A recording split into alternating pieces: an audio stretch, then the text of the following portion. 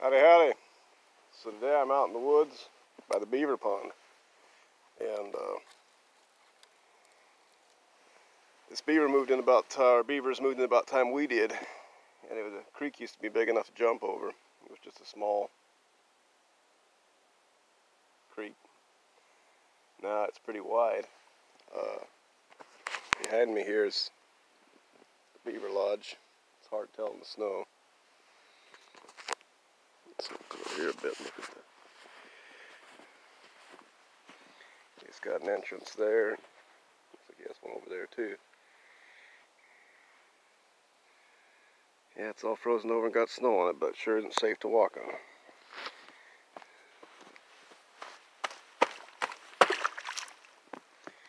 I fell through as a boy one time in a beaver pond, Missouri. Thankfully, I caught a stick before I went under. My brother, we built a fire and I had two pairs of pants on, two yeah, or he had two pairs of pants on, two shirts, and I took one pair and was able to get dry clothes. You have to take you back, come back, bring you back sometime when it's not so snowy. But there's the lodge. It's pretty good size. You know, I'd never seen a beaver build a lodge into the bank before like this. He didn't build it out in the middle. He built it right on the side of the bank.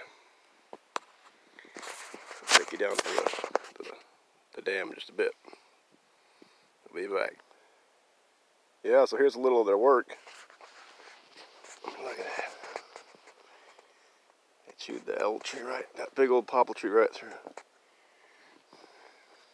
Quite a few more of them down too. Yeah, they uh, they like popple trees.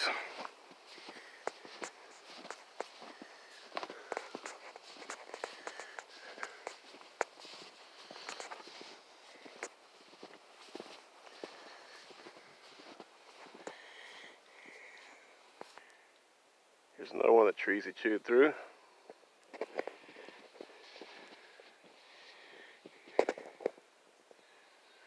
So, go down the damaged a bit. Okay, so here we are. Starts here.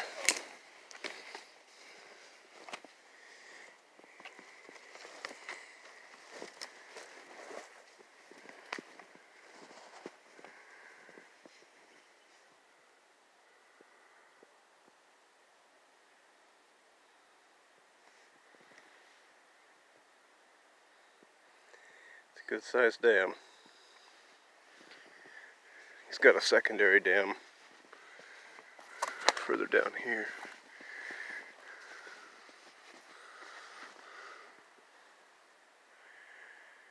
There's that bank over there. That bank over there.